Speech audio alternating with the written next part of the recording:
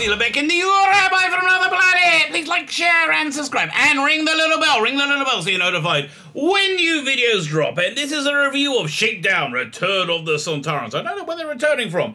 Uh, uh, uh, they returned from the lack of being on TV, and they weren't on TV because Doctor Who wasn't on TV. So I guess that's where they're returning from. So this is a uh, direct-to-video basically fan uh, fan film made in uh, 95 and I watched it because I watched um, Downtime uh, something from I think it was from 96 uh, the sequel to Web of Fear. I watched Web, Web of Fear recently when the uh, Blu-ray came out. I absolutely adored it. Really absolutely absolutely adored it. Uh, uh, so uh, and it wasn't very good. No no uh, Web of Fear was very good but Downtime wasn't very good. I, listen I got a lot of affection for it but it was just like it just wasn't it wasn't go check out my review. It just wasn't very, very good which uh, i remember really really liking it. So i was like are all these productions from the time when we were starved for doctor who are they all equally as ropey so i thought let's go look at down uh, shakedown i think it's one, one of the first ones let's go look at that because uh, uh i remember liking that too and boy it was great. It was absolutely great. This is a strong, strong recommend. Uh, uh, if they ever remaster it and re-release it, I can't find it anywhere for for anybody uh, for you to buy.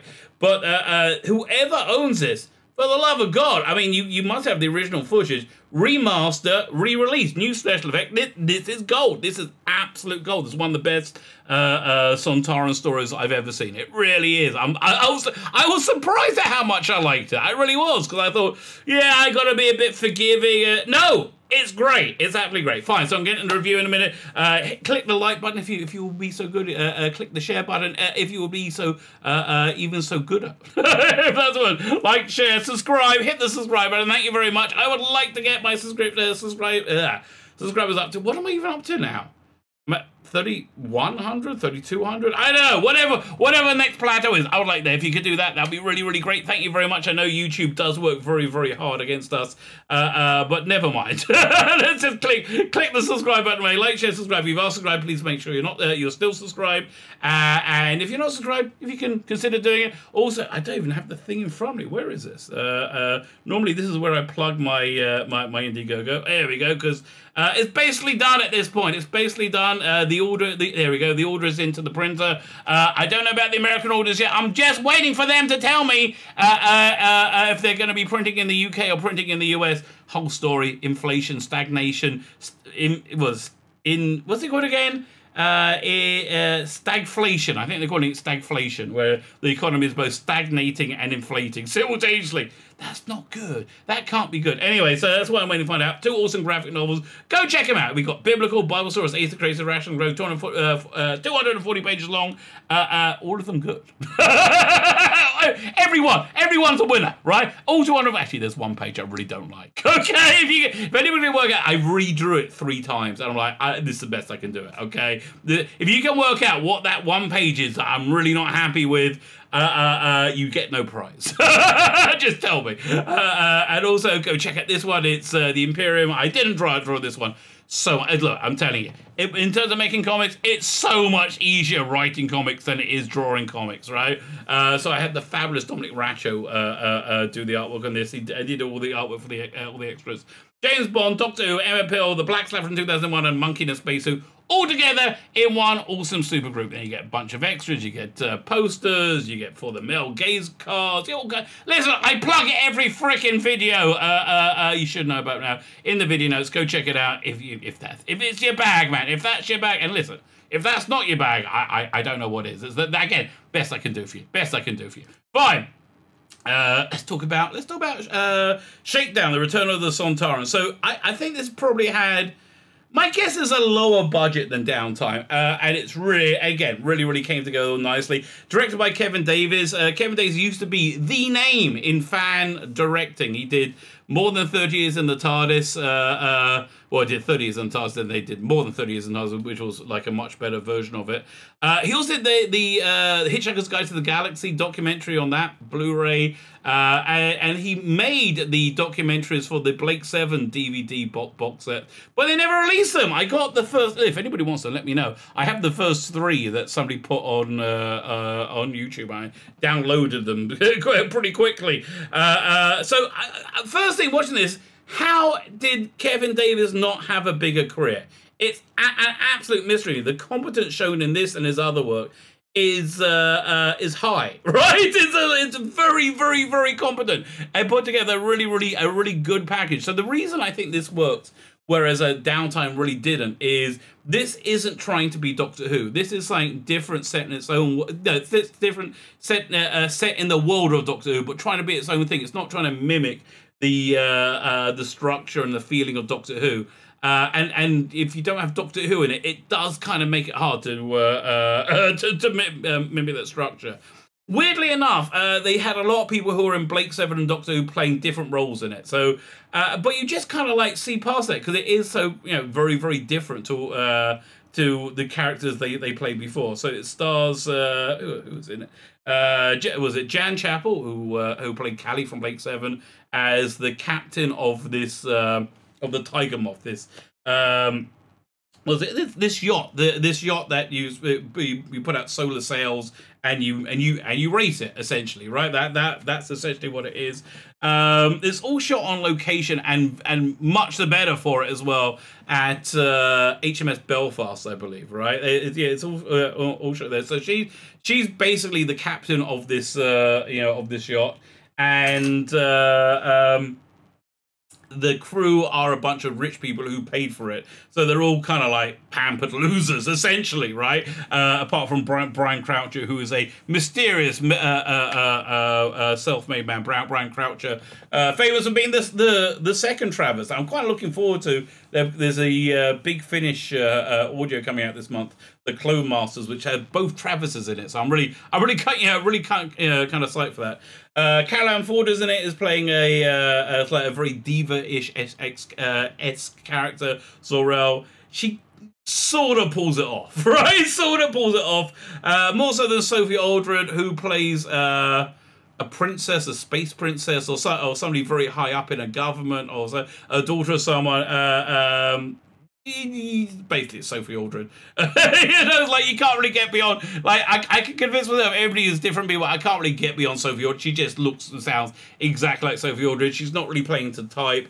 Uh, um, probably one of the weakest things of the of this production, but she's pretty good. Production's good. Michael Wisher is fantastic in it, uh, playing the ship's en- uh, uh engineer. But the standout uh, of these are the Sontarans. The Sontarans are fantastic. Firstly, the Sontaran design best I've ever seen. Right, far superior to the uh, uh, uh, to when they came back in in in the new series absolutely the best I've ever seen. Each Sontaran has a distinct personality. Uh, uh, and it, again, just really, really comes together. I love the design of these Sontarans. I, they, they, for me, they're, they're they're the best I've seen. For me, I think they're just like the the ultimate uh, Sontarans.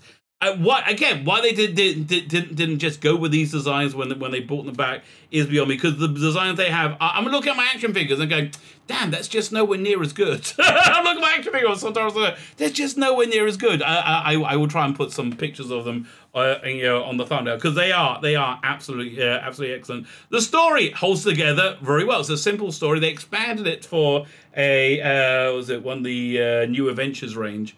Uh, and I believe they, they reprinted it in 2014. So if you can get hands on it, it's pretty darn good.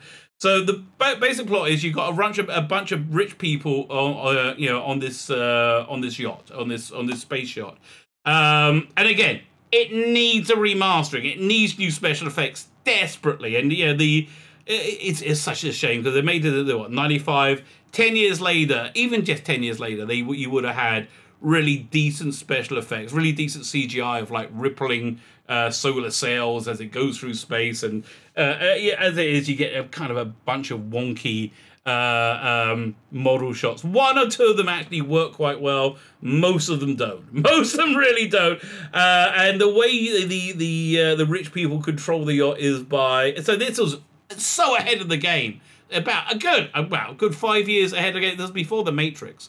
Um, it's the it's all uh, done in like cyberspace of, of virtual reality. They they basically put on sunglasses and they do this with their hands, and then they, you you see them like like pulling ropes and stuff in in in like a virtual manner.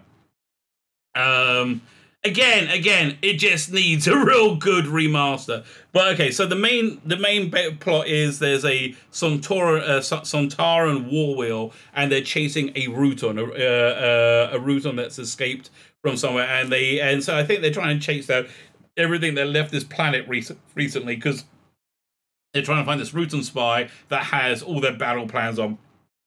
And that's why they board and take over uh, uh, the uh, the Tiger Moth. So after the, the that that initial se uh, section is when they when they when they come come into the ship and they board it they they shoot everybody to subdue them uh, and it's a great action scene. And the Sontarans they again they're better than in the current series. They're moving fast. They're deadly. They're scary. It really works. I think another thing that makes this thing really really work well is they did it widescreen right? Did now with downtime I I recommended watching it on your phone I think I'm going to have the same recommendation for this, even though I watched it on my big screen. The copy I had is pre uh, pre HD, right? So it was even so, the quality of the story carried me through. So they take it over, and it's basically a cat and mouse game where they're trying to find the Rutan spy, and the Rutan spy is slowly but surely going through the crew, uh, taking them over as uh, um, uh, was it this uh, Sontaran Commander Steg, who's played by Toby Aspin. Uh, I think he came back as a uh, a, a Sontaran in a future um, uh, directed uh, video production. I, I was going to say direct to DVD. No, this is direct to video, babe. Direct to video production uh, as like a very uh, intelligent, calculating, and honourable Sontaran who you get to care about, right? You get to care about as it goes on. His second in command is uh, Lieutenant Vaughn, who's a moron, but it's great. Okay, he's got this great scar going across his top uh, top of his head. Gives him dimension, gives him character. Uh, I can't remember if I said this was written by Terrance Dicks, but it's really one of his like absolute best scripts. It it really it's just really really it's just really fantastic. Uh, who else is in this? Anything else I can think to say about it? Uh, look, if you can find a copy, it's really really worth it. I think it's it, it's it's totally worth. It's about an hour long. I remember when they uh, uh, when they premiered it, it was in three 20 minute episodes, and so you do get like a scene, you know, break at, you know, every 20, 20 minutes. Uh, generally speaking, though, love it, love it. It's got very, they, yeah. Here's the thing: they go for an alien vibe with it, so it doesn't feel like Doctor. It feels like they're trying to do like a big budget alien movie. and what it comes out as more is there's uh, uh, this uh, uh live action alien ride uh, thing in the Trocadero in London, which I believe uh, it, it, it, it, Trocadero's not there anymore, which it, blows my mind. Every time I say this, it blows my mind. Trocadero's not there. You said this great restaurant I went there as well. This uh, uh, like this music themed restaurant, good food. Anyway, um, uh, and, and so it kind of looked like that. It kind of like it looks like aliens on the cheap, and it's fine. It's totally fine. So that's basically what it is. Aliens on the cheap with uh, uh, Doctor Who and um, Blake's Seven actors uh, uh, and Sontarans as monsters uh, uh, with with dated special effects. And, and amazingly, it's still a recommend, right? It's absolutely still a recommend. So much fun, so much fun, so much confidence. So yeah, that's really the thing. There's a lot of confidence going through the whole thing, and it just holds together well.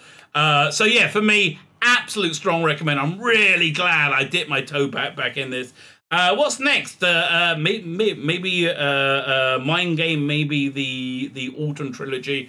Uh, I don't know. I don't know. But I'm this is I'm going to be doing a deep dive on this whole scene of '90s Doctor Who spin-offs that you know pretty much forgot nowadays. And again, my, I'm going to close with an appeal. Whoever owns this, right? Whoever owns Tropicana Productions, I think that's uh, in Levine. whoever owns this, please remaster it, re-release it. It's really good. It's really good. It's really worth your time uh, and, and, really worth your money if you can find it. there you go. My name's Sheila Beck, and you rabbi from another planet. Please like, share, and subscribe, and ring that little bell. Ring the little bell so you're notified when new videos drop.